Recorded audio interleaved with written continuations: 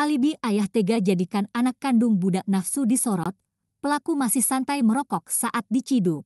Aksi seorang ayah bejat yang menjadikan anak kandungnya sebagai budak nafsu tengah jadi sorotan. Pasca kelakuannya terbongkar, pria tua berinisial MN, 53, itu pun mengurai alibi.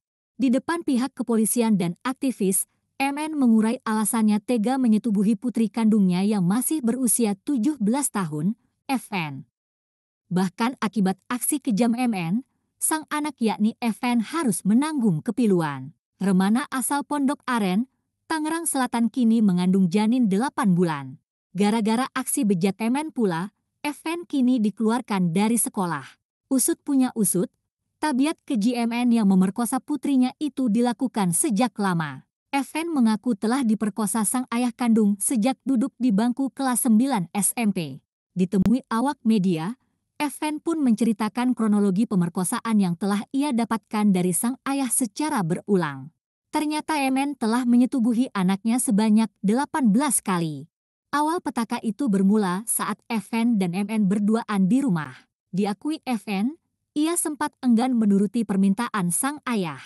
Namun karena dipaksa sembari diancam, Evan hanya bisa pasrah. Secara kejam Emen menggauli sang putri kandung hingga belasan kali. Aku di dapur, ayah bangun langsung kunci pintu, langsung kunci taruh di kantungnya. Terus narik tangan aku ke kasur, imbuh FN. Aksi bejat Emen ternyata baru diketahui sang istri dua bulan lalu.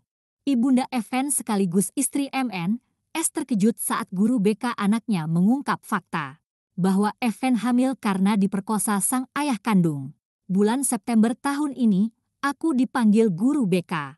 Guru BK cerita semuanya. Aku sempat shock, kaget. Kalau emang iya, aku cari bukti dulu.